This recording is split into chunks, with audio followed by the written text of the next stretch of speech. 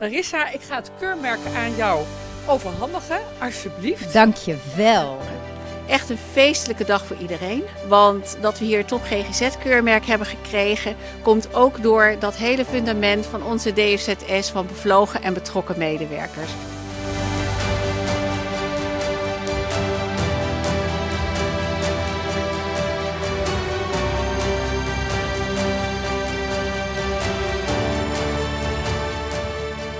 Waarom zijn we zo blij met dit keurmerk? Omdat het ontzettend goed past binnen onze strategie. We zijn een derde lijn specialistische organisatie. En cliënten en verwijzers verwijzen naar ons vanwege onze specialistische kennis. En om echt goede specialistische kennis te hebben, maar vooral ook te behouden, moet je daar voortdurend aan blijven werken. En daar helpt Top GGZ echt heel erg goed bij. Gaat erom dat zo'n uh, top GGZ beoordeling een betekenisvolle bijdrage levert aan waar jullie mee bezig zijn. En dat het jullie helpt om academisering vorm te geven. En jullie, ja, eigenlijk jullie kwaliteit van zorg te verbeteren. Dus ik vind het altijd super fijn als ik dat terughoor. Een groter compliment kunnen we eigenlijk niet uh, krijgen. Van wat maakt nou dat wij het Top GGZ keurmerk gekregen hebben? Even allereerst omdat de kwaliteit van onze topklinische zorg echt hoog is en doet wat het moet doen. Omdat we met z'n allen heel veel drive hebben om te innoveren en onze expertise heel erg hoog is. En omdat we ook de impact van onze innovaties onderzoeken. Wat is de meerwaarde ervan? Doet het wat het moet doen? En als laatste punt, omdat we ook bereid zijn om onze kennis te delen met andere organisaties en ook samen door te ontwikkelen. En hoe hebben wij als afdeling onderzoek bijgedragen aan het verkrijgen van het keurmerk voor onze zorglijn agressie en vermogen? Nou, de Waag heeft een eigen onderzoeksafdeling en dat is eigenlijk vrij uniek in het ambulante forensische veld. Het geeft ons de mogelijkheid om onderzoek te doen naar, uh, met een meerwaarde voor onze specifieke doelgroep.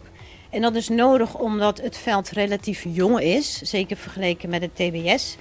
Ik ben Raymond, 55 jaar, geboren zonder de vier bouwstenen die bijna elke gezonde baby meekrijgt. Veiligheid, vertrouwen, geborgenheid en liefde.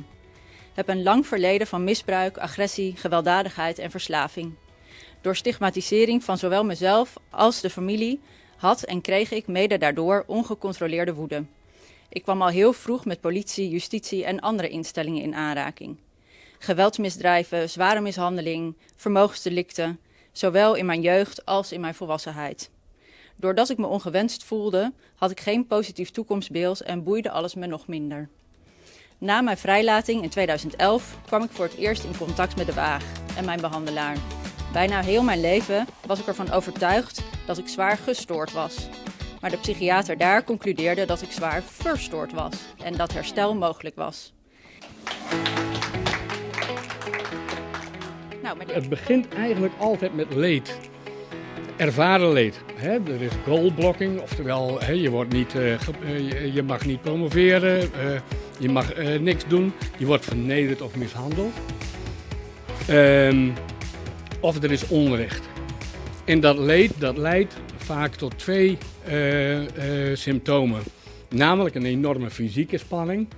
En daarnaast leidt het tot boosheidsruminatie. En ruminatie is eigenlijk gewoon het herkauwen van al die boosheidsvragen. Waarom heeft hij dat gedaan? Hij heeft mijn hele leven verziekt. Dat soort dingen. Um, en uiteindelijk leidt dat met elkaar ook tot wraakdrang en wraakfantasie. En wat we eigenlijk willen met, dit, met dit, uh, uh, deze behandeling, is dat juist eigenlijk die vier symptomen, dat die minder worden.